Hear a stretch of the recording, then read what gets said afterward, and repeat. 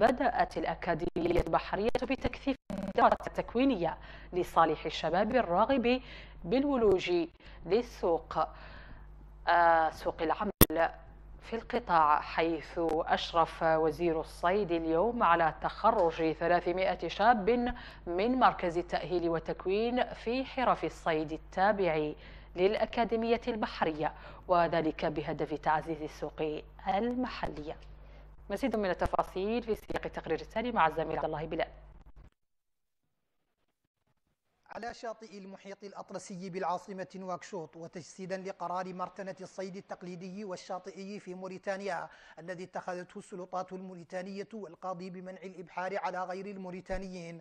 كان الحضور اليوم من أجل حفل تخرج الدفعة الثالثة من الصيادين الموريتانيين بعد تلقيها للتكوين والتأطير من طرف مركز التكوين في موريتانيا. والذي يعدد مدير المركز في كلمته الرسمية المراحل التي مرت بها الدفعة طيلة فترة التكوين.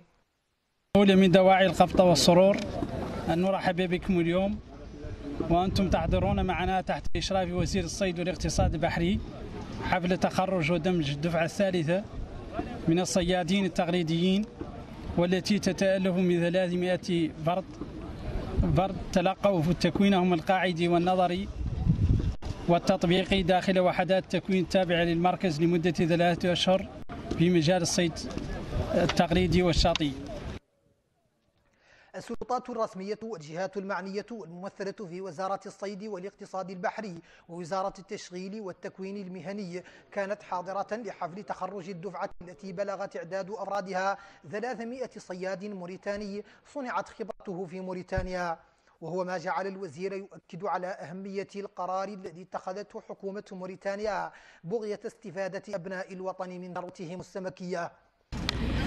يسعدني أن أتقاسم معكم اليوم فرحة الاحتفاء بتخرج دفعة جديدة من الصيادين من مركز التكوين والتأهيل في حرف الصيد التابع للأكاديمية البحرية.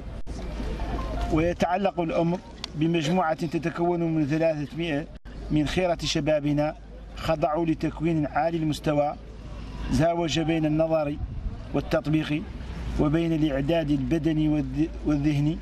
شباب صبروا وصابروا ورابطوا في ميدان تحصيل المعارف واليوم حان لهم حان الوقت القطاف وطاب الثمر فهنيئا ومريعا حفل التخرج هذا كان مناسبة للصيادين ورجال البحر لإعطاء كلمتهم الوطنية عن أهمية المحيط الأطلسي المطل على العاصمة وما يمثله بالنسبة للموريتانيين عموما وللصيادين على وجه الخصوص.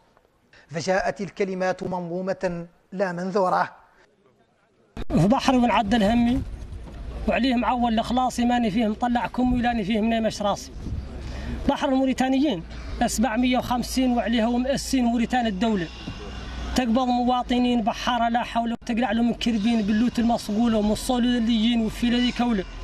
ومن بوني ذا مسكين وكلامار الحولة وتبار الحسين.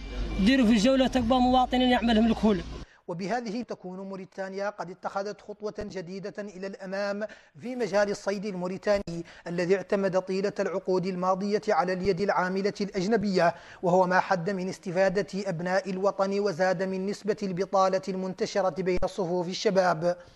ليكون ختام حفل التخرج بتوزيع الشهادات التقديرية على الخريجين وأمام أعينهم سطرت الآية الكريمة. الله الذي سخر لكم البحر لتجري الفلك فيه بأمره ولتبتغوا من فضله ولعلكم تشكرون. فالامتدال مطلوب والجد والاعتماد على السواعد الموريتانية هو القصد من وراء ذلك القرار.